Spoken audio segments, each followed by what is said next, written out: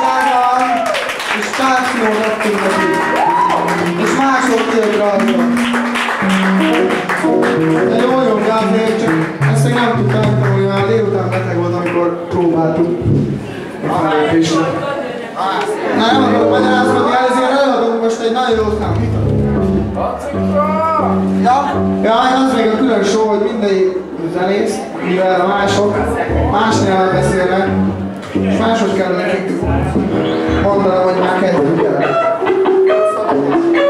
Uno, dos, tres, cuatro. Azt mondja, azt mondja, hogy másik számot kell.